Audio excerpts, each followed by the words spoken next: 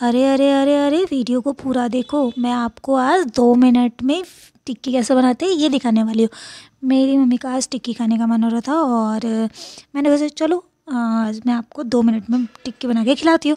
मेरे पास ये आलू के गुटके रखे हुए थे, मैंने कहा कि चलो इससे बना के खिलाते अगर आपके घर में कोई आया, आपको कुछ समझ में ना आए तो आप भी ये रेसिपी ट्राई कर सकते हो।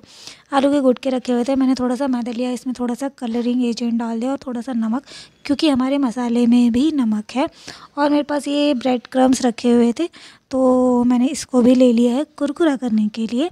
अब ये जो मैदा और मैंने जो कलर ऐड किया था, वो दोनों को अच्छे से पानी थोड़ा थोड़ा डाल के आप हिलाओगे इसमें बिल्कुल भी प्लम्प नहीं रहना चाहिए मतलब गांठ नहीं रहनी चाहिए।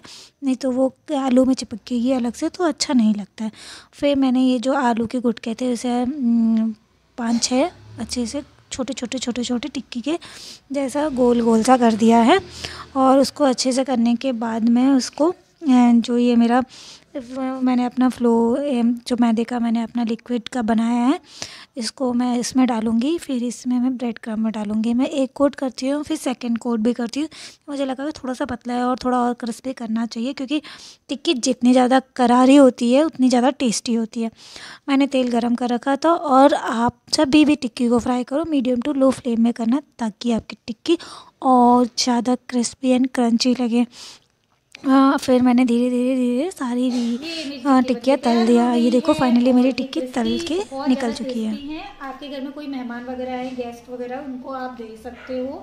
सच में बहुत टेस्टी नाश्ता है बहुत लगी। ये रेसिपी मुझे कमेंट सेक्शन में सच में गाइस बहुत ज़्यादा टेस्टी हो रहा था बहुत ज़्यादा क्रंची भी हो रहा था आप इसकी आवाज़ से देख सकते अगर आपको आवाज़ आ रही है तो ये सच में बहुत ज़्यादा टेस्टी बना हुआ है।